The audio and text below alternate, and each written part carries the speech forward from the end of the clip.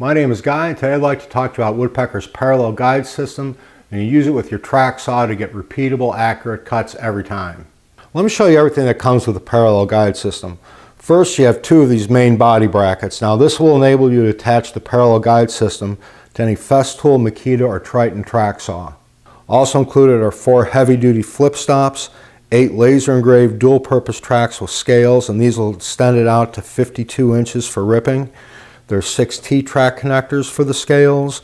There's also two narrow stock guides with plastic tips and metal ends and these will enable you to rip anything less than 10 and a half inches and there's also two of the bracket fixtures so you can attach all this to your rails.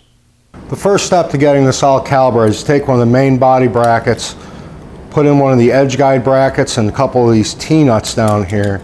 And I've also located two of the rulers and you can tell which ones you need to put first because there's two arrows, one right there and one right there and they're marked from 8 to 19. Now I can take the main body bracket as it's assembled here and this piece with the 8 on that end and put it all the way and butt it up into here. And I'm just going to snug these for now. Not tight, but just snug so it doesn't move around. Now I can take this assembly and slide it onto my track and the T-track on the end of it. I'm going to take two of these flip stops and with the nut facing forward I'm going to install them on this track. With the two flip stops flipped in the up position, I mentioned before there's two marks. There's one at 11 5 eighths and one at 14 5 eighths. I just want to move these over till I just split that line on those marks and then tighten this all down. I'm going to tighten all this up and I'm going to tighten down the edge bracket first in the track and then I'm going to snug the bracket to the edge guide bracket. With one of the narrow stock guides, I'm going to take the end stop and attach it like so, and this is the metal one. And then that's going to go through these two flip stops. I'm going to butt it all the way up against the end here and then tighten this down so this doesn't move. Now I need to take one of the plastic tips and attach it to the end of the narrow stock guide. Now I need to loosen these screws that hold the scales to the main body bracket and move it back a little bit. Now I'm going to take a known square, keep it flat against my worktop, I'm going to place this right up against the splinter guard. Now I can slowly move this up until I just kiss that edge. Now with that all set up, all I have to do is tighten these up and my scale is calibrated to where my saw cuts. I've got both parallel guide brackets fully calibrated and installed on my long rail here. The first step in this process for me is I want to cut off about a quarter inch of this factory edge to give me a nice straight line to work with.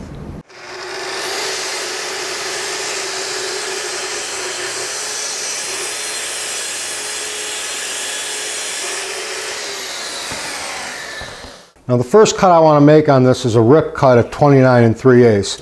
The first scale I have attached here only goes up to a little over 19 and a half. So I've got the second scale here and this goes up over well, 31 and 3 quarters maybe. So using one of the track connectors, I'm going to attach this to this to give me that length I need.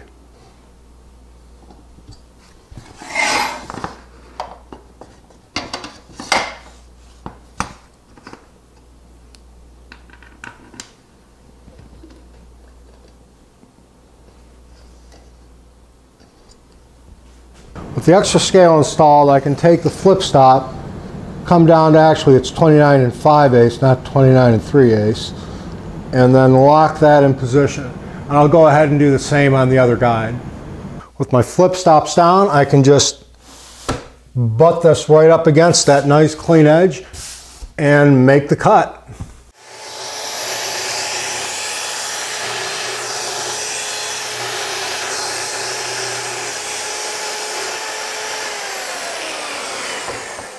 Now I've got the panel cut two parallel edges. I need to cut a perpendicular edge and this is going to be a cross cut. So I'm going to take my track and get it about where I think is square. I'm going to take a framing square, put it up against my track, push that against it and get it nice and square. And I'll go ahead and make this cut.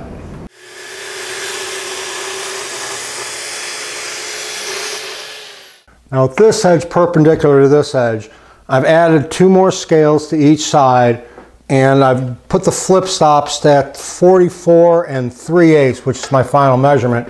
I'm just going to butt those right up against that and make the cut. Now I'm just cutting one piece here, but if you're cutting multiples and you need to have repeatability, this is a great system.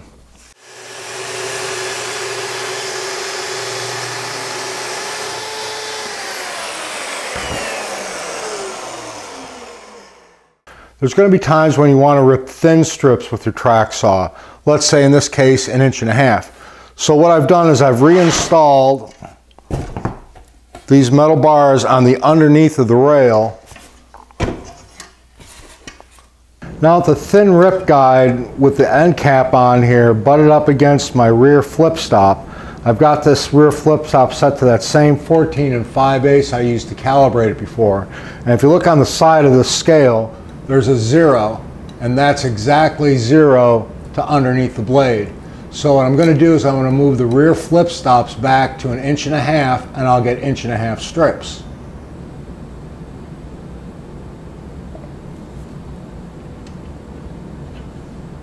Now that I have the narrow stock guide set to the right depth of cut, I've put a couple pieces of scrap underneath here just to raise these back pieces up a little bit. I'm just going to put it right on the plywood and then butt it up to those two posts and go ahead and make the cut.